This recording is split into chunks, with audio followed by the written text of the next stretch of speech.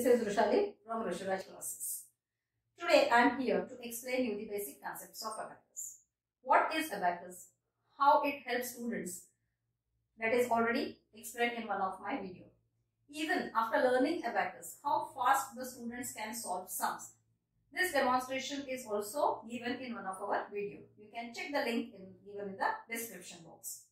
So this video is to explain the basics of abacus. What is abacus? How actually the numbers are formed on the abacus. So these basics I am going to explain in this video and how we can solve the simple sums on this abacus that also I am going to show you in this video. So here in our institute what we do, we provide training even for the parents. Yes, we conduct the training class even for the parents to explain these basics of abacus. The reason for this is when they take admission for abacus class, so when we give the homework, even the parents should know whether that child is solving the given homework properly or not. Because there are many simple rules which we have to take care while solving the sums of the abacus. Like how the child is holding the abacus, how he is holding the pencil, whether he is moving the beads properly or no. So all these things, it should be monitored by the parents. So even the parents, they should know the basics of abacus. So in our institute, we take care that we conduct the uh, abacus training even for the parents. So now let us move to the basics of abacus. Now let us see what is abacus. Abacus actually is one tool. One tool with the frame and beads are arranged in this frame in different rods. Here you can see two abacus. This is one big abacus with yellow beads and this is one small abacus with brown beads. So this big abacus is called as master abacus or teacher's abacus which teachers use to explain the concept to the students. And this small abacus is used by students. It is called as student abacus to solve the sums. So actually let us see what is abacus. This abacus as I told here the beads are arranged. Here you can see one rectangular frame. This frame is divided in two parts here. This is lower part, this is the upper part. In lower part, you can see four beads in each rod. And in upper part, you can see only single bead in each rod. Apart from these beads and rods, you can also see the white dots here. One, two, three, four, five. Five white dots you can see. So what are these dots? These dots represents the place value. This first center dot is nothing but our units place is units place, single digit. Then this one, next place is tens place. This is hundreds place. So like that. And this part we use later in the higher levels for decimal sums. So we call it as the decimal part. So here this is units place, tens place, hundreds place. Okay. Now this place is clear. How the digits are formed? Okay. see when we solve these sums of the abacus, you should know how to form the numbers. So for that, how to place the bits, how to move the bits. When the bits touch this divider, the number is formed on the abacus. Now nothing is touching this divider. This means the value on the abacus is 0. Now this is unit place. In abacus, we always hold the pencil like this. Like this it is. Like this we can say. And we use only these two fingers to solve the to move the beads on this units place. And we use only these two fingers to move the beads on the tens place. So right now I'll show you the sums using only the fingers of my right hand. So here one bead is now touching this divider. So the value on the abacus is 1, 2, 3, 4, 5. This is clear. If now two beads are touching, so value is 2. 3 beads are touching, value is 3. Nothing is touching, it's 0. So 1, 2, 3, 4. Now next, the upper bead, this single bead, the value of that upper bead is 5.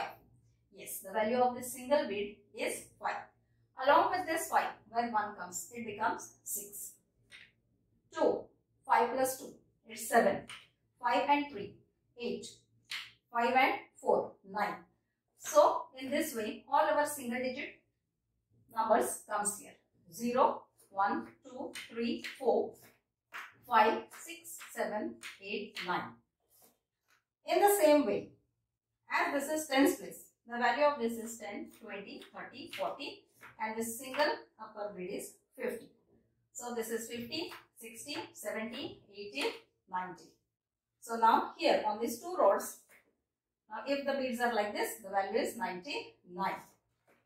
Now if the bead is like this, 32. Here 4 and here 4. This is 44. If here is 1 and here is something like this, 10 and 6, 16. So this is how the numbers are formed on the abacus. So once the student become perfect in this to form the numbers on the abacus, so we move to the further concepts like addition, subtraction, multiplication, division, decimal addition, decimal multiplication, then uh, decimal division, uh, percentage, profit and loss, simple interest, square roots. So once the students know all these basics, one concept goes on adding in each level. So this is how we start with the basics of abacus. Now let us see few simple examples. Let us solve few simple examples on the abacus.